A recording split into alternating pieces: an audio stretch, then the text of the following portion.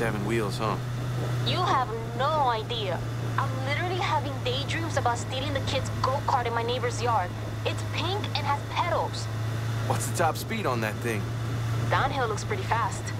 Look, I got some money. I could... No, thanks.